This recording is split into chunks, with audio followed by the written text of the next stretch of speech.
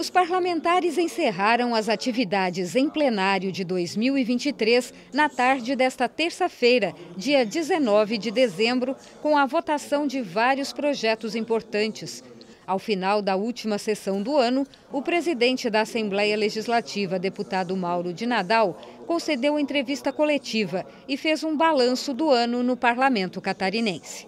Um balanço muito positivo. É um início de legislatura e é muito natural de que todas as demandas elas é, acabem migrando para o parlamento, até porque todos os governos que assumem o seu início eles pretendem fazer os ajustes, adequar a máquina, eh, elaborar a sua plataforma de governo. Então a Assembleia acaba sendo o local de todas essas discussões, mas acima de tudo, eh, aonde se emprestam os ouvidos para que a sociedade traga as suas reivindicações.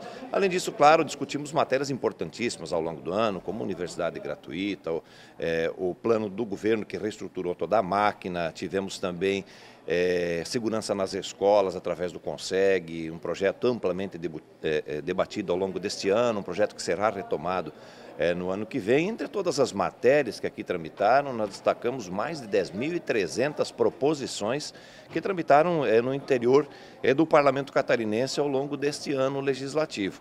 Então eu posso concluir dizendo que foi um balanço positivo, a Assembleia fez grandes entregas a Santa Catarina, melhoramos as estruturas regionais com a criação eh, das bancadas regionais, isso permite com que nós possamos fazer uma discussão mais ampla daquilo que é, é um consenso de coletividade. Então esse é o espírito que estamos implementando na criação dessas bancadas regionais. Ela vai dar força à voz da população que vive nestas regiões e sem eh, o cunho partidário, todos os deputados eles acabam é, tecendo as suas considerações e encaminhamentos com aquilo que é o mais importante, que é atender a gente que vive nessas regiões. Então, além disso, claro, é, outras matérias de iniciativa dos deputados também tiveram destaque ao longo, ao longo deste, deste período, até mesmo uma que foi votada no dia de hoje, que faz toda uma revisão do sistema é, da do universidade gratuita. Então, os deputados tiveram um destaque muito grande ao longo deste período, ao longo deste ano, nos ajudaram é, maciçamente no trabalho de gestão desta